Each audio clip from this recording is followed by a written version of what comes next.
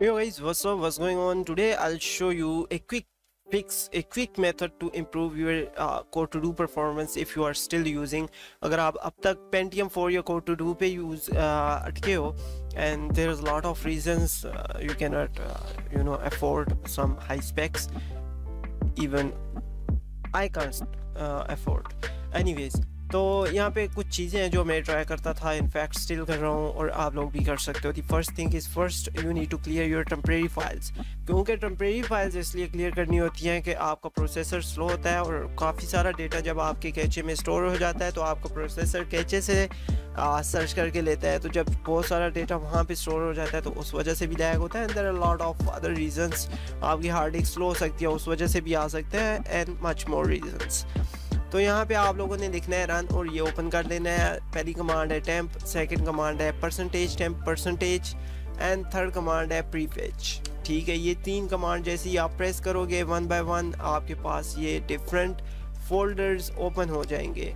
ना lot of peoples are using high end specs or something better then uh, might be they uh, don't feel that satisfaction with these commands because उनका PC already इतना support कर लेता है जो कि जो performance हम यहाँ से ले रहे हैं वो उनका पीसी ऑलरेडी अफोर्ड कर रहा है। ठीक है तो इसलिए उनको ये चीज़ें फील नहीं होगी तो don't worry don't share with them और something just do it and then you can comment later जो चीज़ें डिलीट ना हो रही हो वो बैकग्राउंड पे यूज़ हो रही हैं हो रही होती हैं तो उनको स्किप कर दिया करो जैसे कि मेरी recording and there lot of other services are still on background. The last file I just missed I think it's temp no it's uh, prefetch.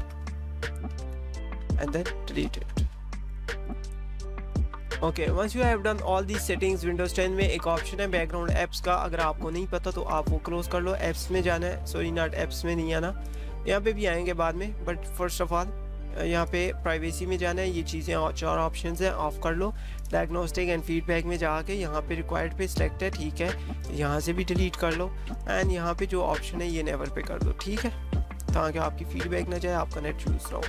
Now the thing you need to do है background apps यहाँ पे आना है और यहाँ पे आप लोगों के पास जो चीज़ नहीं यूज़ करनी अब मैं स्नैप एंड स्केच यूज़ करता हूँ स्क्रीन के लिए। विंडो सिक्योरिटी की नोटिफिकेशन इंपॉर्टेंट है। तो ये चीज़ें मैं नहीं क्लोज़ करा, बाकी सबको मैंने क्लोज़ कर लिया। आप चाहो तो सब कुछ क्लोज़ कर सकते हो यहाँ से।